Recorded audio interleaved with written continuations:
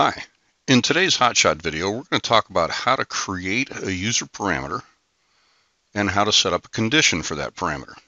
So we've got the hole wizard processes here on the tree. If you right click on this, you can open the current one, you can create a new one, you can open, you can delete, and customize. If you want to work on the one that you currently have set, you can simply double click here and it opens up that process.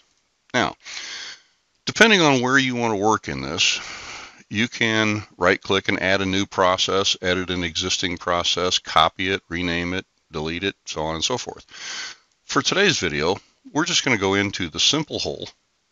So I'm going to double click on this and we're going to work on the spot drill for the simple holes. So I'm going to right click here. I'm going to do edit. And we want to work with the tool diameter.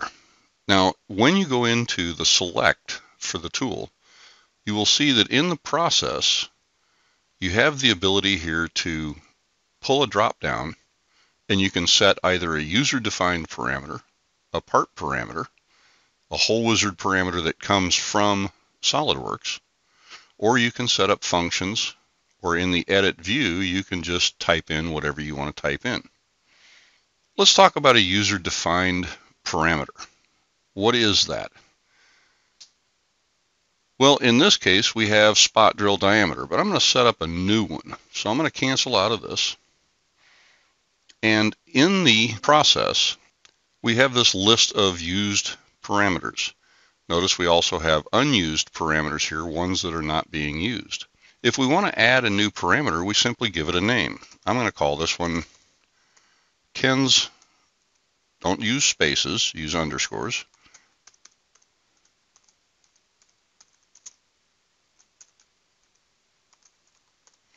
Ken's spot drill diam, and I'm going to add that.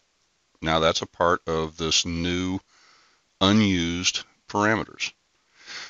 I can go here and set how I want to do this. In this case, I want to build a condition. Now there's a lot of things to do in here, and I'm going to, instead of building this on the fly with you, I'm going to take you into one that's already been built, and we're going to talk about it.